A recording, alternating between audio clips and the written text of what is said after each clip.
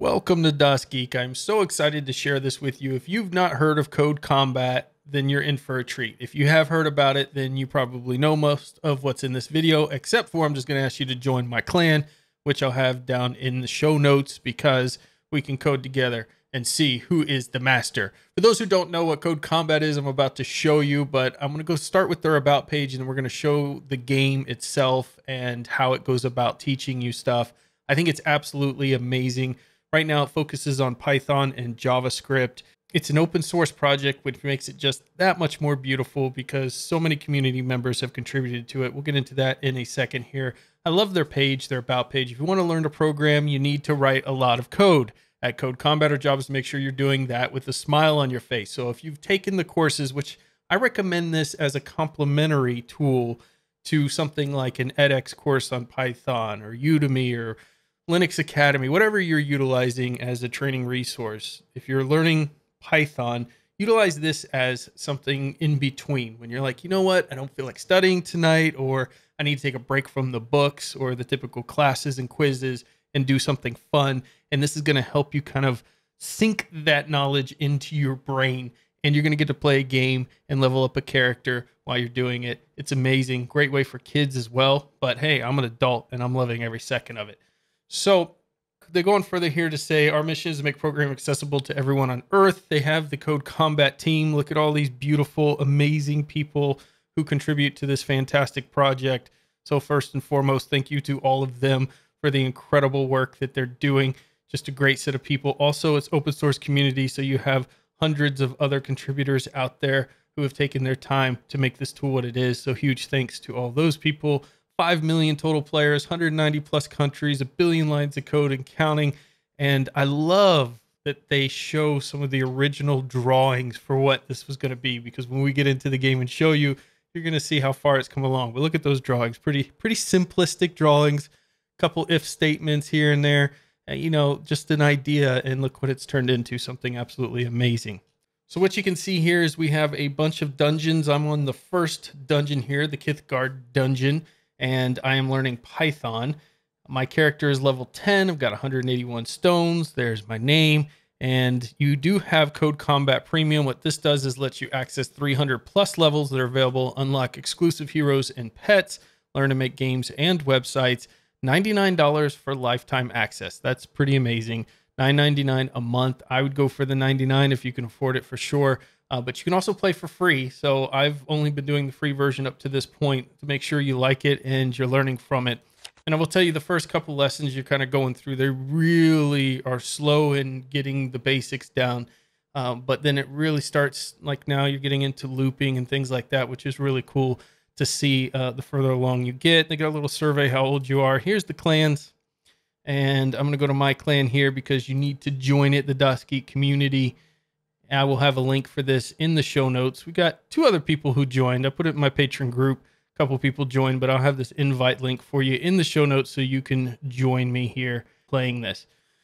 We also have items. This is where you can see I have some uh, money down here. I can buy different things to unlock for my character, different weapons, armor, books, accessories. You can play warriors, rangers, wizards You've got a bunch of different options in how your character looks, which is very cool. No, Here's some of your hero options. So you've got a nice plethora of heroes here. God of War looking dude. You've got some, was that Shredder? Looking like Shredder there. Uh, your typical high elf or dark elf there. You've got a lot of cool characters that you would typically see in an RPG. And then when which program you want to le- learn here, you've got Python, JavaScript, and CoffeeScript, which is currently in experimental stage that you can learn uh, but I'm doing the default Python there.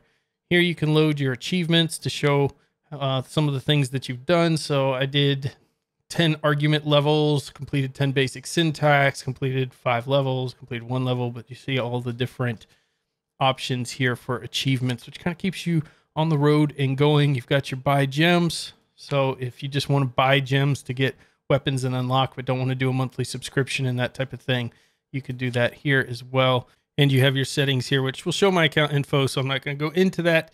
So let's play.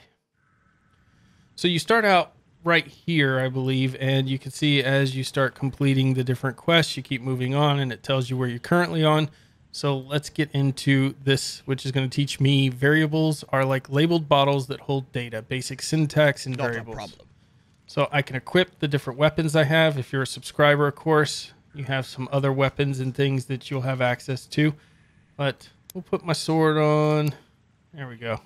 Got nice armor. I think we're good to go. Code Combat. So once you get into the game, you know, there's a lot of areas where you're fighting and doing combat and loops combat and trying to escape mazes. This particular one, let's figure out what the goals are. It's going to immediately tell you. Label the bottles using variables, assign a value to each variable. These magic bottles hold data. First, you need to pick a variable name to label the bottle. Then you assign a value to the bottle using the operator. So my variable equals my string value value. So we can go ahead and start level.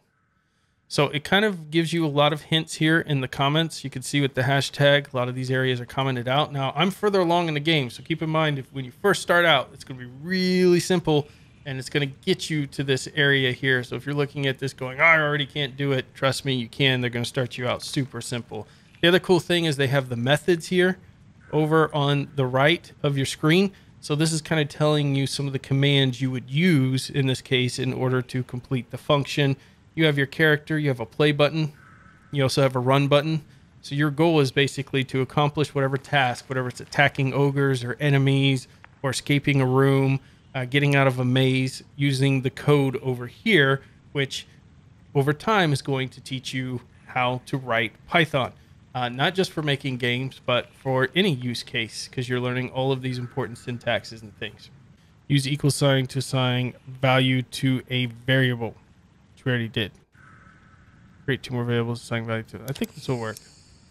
So you can see once we completed that code, it moved these to haha and lol, and that is exactly what we wanted to accomplish, and they have some value assigned to them.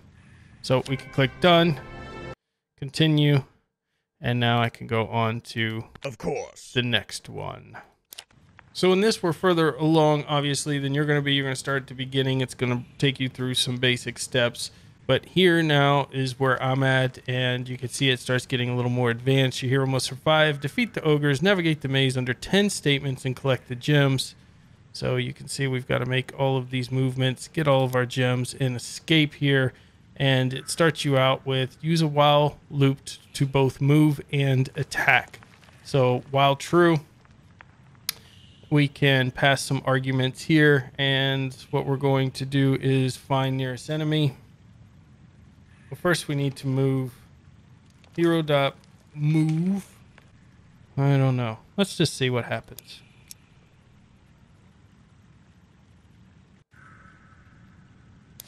Move right. Oh. Well, this is a terrible idea. I thought he would seek out the enemy, but clearly does not. So we move right twice. I guess you can't move up twice. I don't know. Move right. Move up. Move right. I Oh my you. gosh, the past All me right, is such this a working moron. now. This is working. Watch this disaster. Oh, right till there. All right. So we don't want to move down three times. Eh. Oh. Ow. Move right. Move up. Move right. I see. Move up. I feel like we've nailed it. Move right. Look at this moron proud of up. failing 80 times. Move right. Oh. I see you. I have too many statements here, Move up. but Move right. Things are working finally now as I screwed this up. Move right. I see you. And it's because I'm not properly planning for all the looping. Move up. And Move right. goals, it says success. Under 10 statements. I feel like I'm over 10 statements, but I guess not because it's just counting the ones that I added here. So, you know, we take out the comments and everything. We're pretty good. So I passed, and you can see I learned some things about paying attention to the loops. I was basically treating it like it wasn't in a loop mode and writing each individual step, and that was getting me killed. But once I got these loops down right, everything worked out, and I was able to complete this. And so here You're learning about while true loops. You're seeing it actually execute the code when we play it, which is really cool. Right. We get to kind of watch, and you can see it's highlighting the code as it's going through and showing us what Move it's doing right. and then coming back around. And some of these steps up. may not be the most right. efficient, up. and you can Move come in here and you could adjust that and make this more this code more efficient right. if you wanted to as you go. Now we get the glorious loot and things that keep you playing. We've got the experience that you gain. You can go buy some more cool things, or you can take some money and subscribe to these awesome folks because they certainly deserve it. So, are you going to be a master coder after you're done with this? Maybe. Maybe if you spend enough time, you unlock some of the premium content and kept playing, you probably could get very good and efficient at coding with it. But I think the point of this is this is just a really fun way of breaking up and learning Python. So if you've not checked out codecombat.com, no, they didn't sponsor me. No, they didn't reach out to me, although they should because I like to have them on Destination Linux to talk to them. These are some pretty awesome people. You definitely want to go check them out.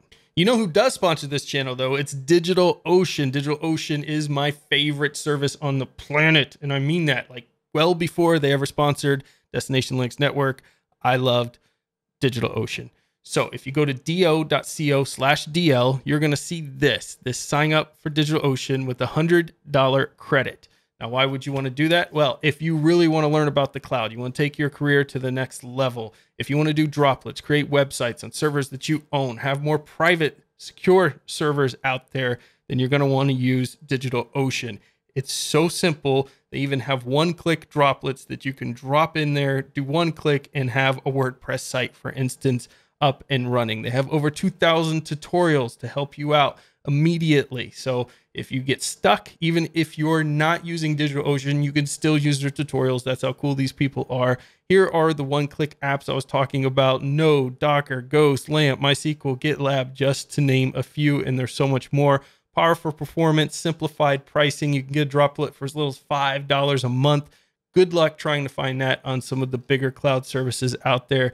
You've got scalable storage, you've got high availability. It's absolutely awesome. My website, Destination Linux website, destinationlinux.network website, all of that stuff runs on DigitalOcean or CodeEMD servers, all of that. So please let DigitalOcean know how much you love them by letting them know I sent you there by going to do.co slash DLN. Okay, so right now, all Code Combat supports, I don't want to say all because I think it's a good uh, set of programs is Python and JavaScript, but they obviously are always looking into other languages. They get a lot of requests about C, C++, Java, and all those. So those may come in the future, but it's a community effort. So if you want to get involved, you certainly can with them, or if you want to support them financially, even better because they we want to keep them around. I think it's pretty awesome. Great for kids, great for adults to learn coding, and absolutely fantastic product. I just love, I dig it. So go check out Code Combat. Go join my clan so that we can take over the servers and be the most powerful clan out there.